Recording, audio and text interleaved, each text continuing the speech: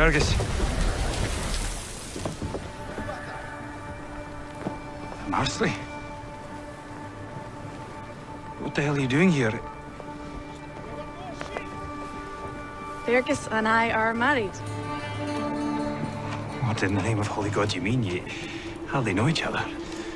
We've been courting since last August, and we were handfast this morning. Handfast.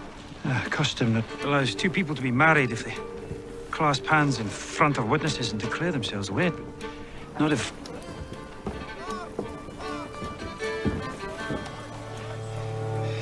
You ready then? Not yet, my lord. And is not yet binding. Captain! We need to make for shore. If there's anything you need, we'll be putting in at St. Ives. Final provisions. And then Marsali will disembark there. I'll send someone to see her home. This voyage is too dangerous for the lass. You're taking her.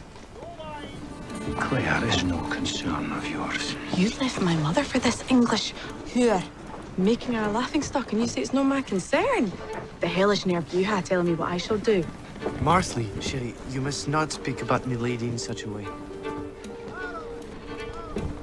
Does your mother ken? I sent her a letter. She'll have me killed. I am sending you home. I'll tell everyone Fergus has already bedded me. He hasn't, but I'll say it anyway. So you see, I shall either be married or ruined.